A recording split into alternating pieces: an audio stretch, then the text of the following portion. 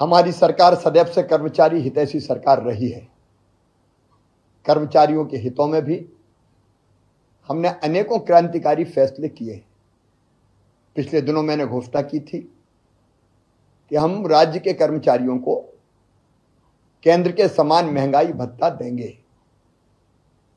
इसी तारतम्य में हमने फैसला किया है कि केंद्र के समान 42 परसेंट महँगाई भत्ता हम जनवरी माह से ही देंगे।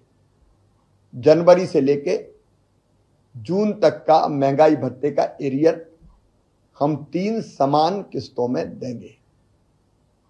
वो सारे कर्मचारी जो छठवा वेतनमान प्राप्त कर रहे हैं, उनके महँगाई भत्ते में भी समानुपातिक वृद्धि की जाएगी। हमने 2014 में यह फैसला भी किया था कि हम अपने कर्मचारियों को तृतीय समयमान, वेतनमान भी देंगे, जिन्होंने 30 वर्ष की सेवा पूर्ण कर ली हो। अब हमने ये फैसला भी किया है कि हम अपने कर्मचारियों को चतुर्थ समयमान, वेतनमान भी देंगे, जिन्होंने 1 जुलाई 2023 तक अपनी सेवा के 35 वर्ष पूरे कर लिए हो। उन सबको चतुर्थ समान, समयमान, वेतनमान भी दिया जाएगा। वो खबरें जो आपके काम की है।